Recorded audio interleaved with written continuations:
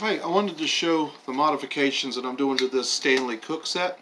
I just picked this one up and uh, did a couple of really quick things to it to change it around a little bit. One, you know a lot of people complain about that little green tab that's up there melting.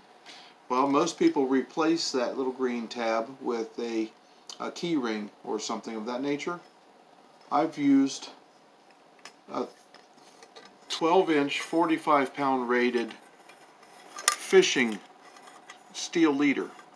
So I can use that as a uh, wire snare in a pinch also. So that just gives me an extra little thing that I can carry that gives me a tab to carry it on you know a way to lift my lid.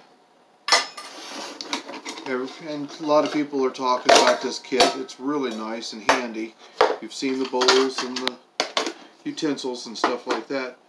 The thing I want to talk about is the modifications. I've already showed this. The other modification I've done, a lot of people you see are punching holes in the side and then using a fish spreader uh, so they can hang this over a fire.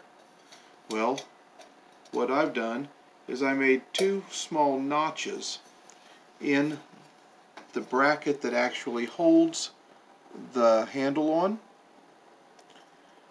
and uh, I used a square so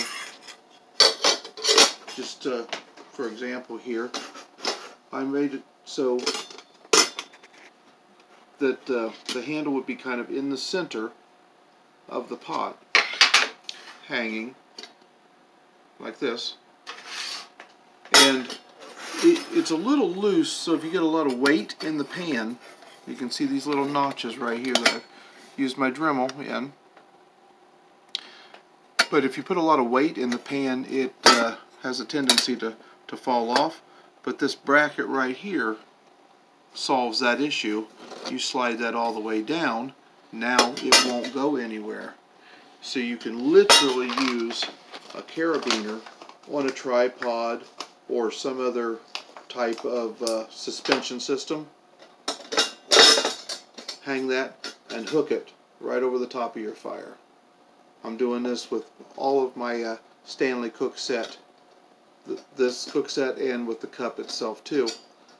So now I can hang that as well as use it as it originally was designed for as a skillet. If I come up with anything else, I'll let you know. Thank you.